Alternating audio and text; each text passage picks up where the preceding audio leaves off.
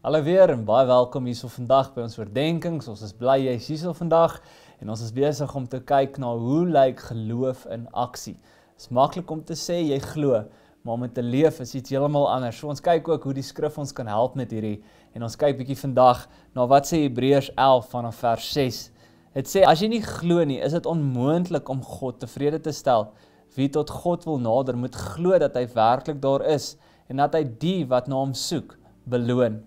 Nou in vandag se tyd dink ek is eh, is is so waar dat daar verskriklik baie mense is wat nie in God glo nie, wat nie glo hy bestaan nie.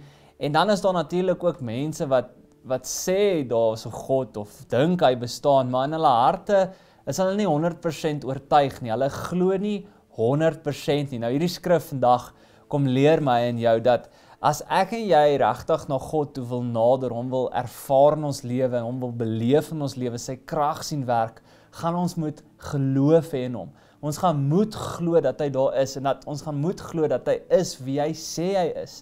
Andersins gaan jy nooit God kan werklik waar beleef nie. En ek dink dis baie keer wat mense se probleem is, is mense glo nie in hom nie. Mense glo nie hy bestaan of mense glo nie hy kan werk nie. En dan daarom sien ons nie God werk nie. Daarom beleef hulle dan nie dat God werk nie, want daar is nie geloof nie. So van ons kant af, vir my en jou wat vandag hierna luister, as as jy wil regtig waar sien God werk in jou lewe, as jy wil hom beleef in jou lewe, as jy sy teenwoordigheid wil wil ervaar, gaan jy moet tot ware geloof kom en jy gaan moet glo dat hy is, dat hy bestaan en dat hy werk en dat hy kan goed doen. Ek weet hier is moeilik. Ek weet dit is nie so maklik nie, maar ons gaan moet so glo. Andersins gaan ons hom om nooit ervaar nie. So dalk sit jy vandag hierso en en jou geloof is dalk dalk klein, dalk glo jy nie daar's 'n God nie. Dalk wil jy dit jy, jy sê daar's dalk een, maar daar's daar's twyfel in jou hart. Mag jy vandag daai besluit neem om te sê ek glo daar is 'n God. Ek glo hy werk. Ek glo hy kan die onmoontlike moontlik maak. Ek glo hy's daar vir almal. Ek glo.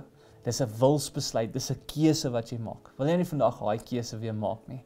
Want dit is so maklik om om om nie te glo nie. So maklik om te sê iets bestaan nie. Dis dis dis dit vat bietjie meer en dis wat ons vir jou vandag mee wil uitdaag. Dit vat net daai keuse om te sê ek glo in 'n God. Kom ons bid dit ook vandag nou saam. Here, so baie dankie dat ons vandag kan kom en Here kan sê ons glo in U. En ek weet Here, daar's soveel dinge en mense wat wat sê daar is nie 'n God nie. U bestaan nie. Here, daar daar is net niks nie en as ek niks glo nie, gaan ek okay wees, maar Here mag vandag elkeen wat na hierdie luister net tot daai besluit kom te sê ek glo om te kies daar's 'n God. Al kan ek hom nie sien nie en en al is dit nie altyd maklik om te verstaan of te beskryf nie, weet ons U is daar. Weet ons U kan werk, weet ons U kan enigiets regkry, enigiets doen. Here help ons met hierdie geloof bid ons ook vandag. Mag U ons help om te glo. Al kan ons nie altyd sien nie, mag U ons help om te glo al is daar soveel mense en dinge wat sê u u bestaan nie. Here help ons met hierdie en ons kom bid dit en vra dit vandag in Jesus naam. Amen. Dankie dat jy vandag ingeskakel het. Geniet jou dag verder.